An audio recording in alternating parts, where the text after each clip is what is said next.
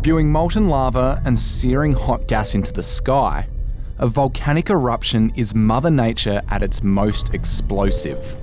But while they're often spectacular, they can also be deadly.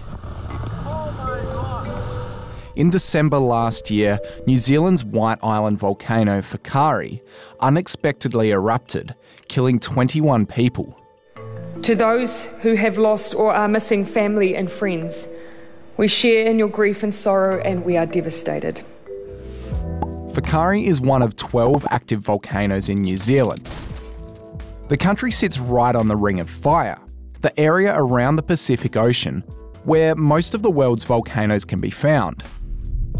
You see, volcanoes often occur at the edge of tectonic plates, the jigsaw like pieces that make up the Earth's crust.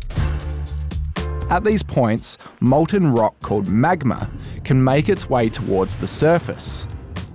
Sometimes it oozes out as lava, and sometimes it causes a build-up of pressure, which can result in.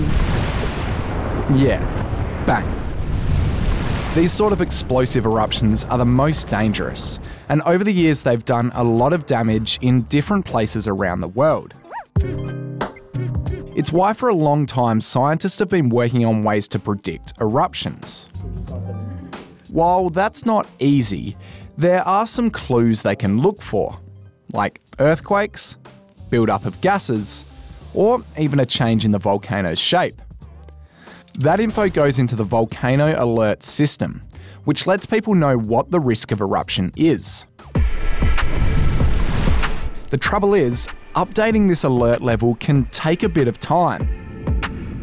The problem with that system is that it does rely on people getting together and talking about data and deciding on things. You know, you can't be doing that every 10 minutes. You know, it generally happens every few weeks to a month. And so it doesn't respond quickly enough if you only have very short term warning signs.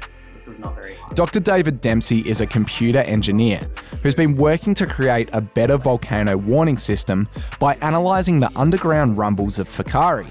So what we did is we looked at nine years of seismic data from Whakaari. Uh, so that is essentially little vibrations on the ground that we're picking up with these sensitive instruments.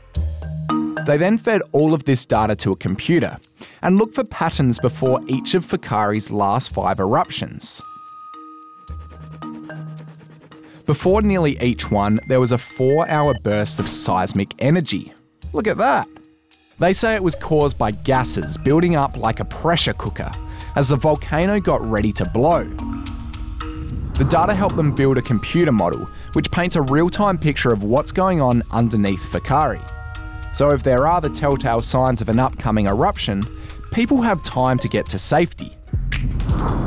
They say by observing other volcanoes around the world, other scientists could create similar systems to warn people of future eruptions.